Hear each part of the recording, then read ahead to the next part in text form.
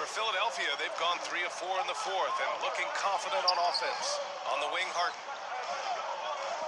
Harris outside. Pass to Tucker to the left wing. Maxey against Brogdon. Maxey passes to. Embiid throws it down.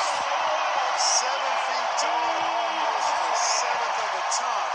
That's a lot of force coming behind the team with Embiid. Smart passes to Brogdon. Smart outside. And the bucket counts. And he is on his way to the line. He'll try to make it a three-point play. personal foul. At the line for the Celtics, Malcolm Brogdon. One shot.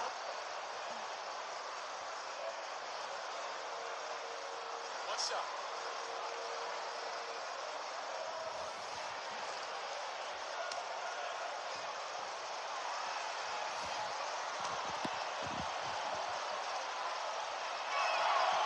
And it's tied up with that one.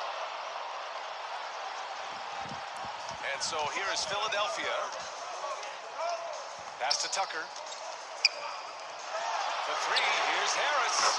Again gets it to go. He can't miss. Five for five. That's a big-time bucket from Harris. I mean, so cool, confident, and composed in these big moments. He's made for him. Tatum from long range.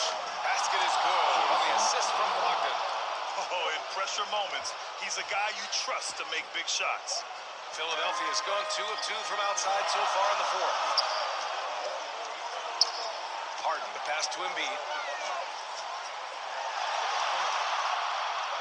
Over Williams.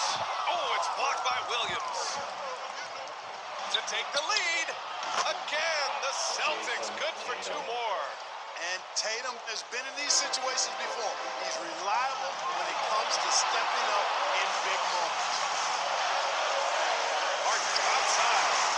Nails it from three. Oh, Harden's got 12 points here in the second half.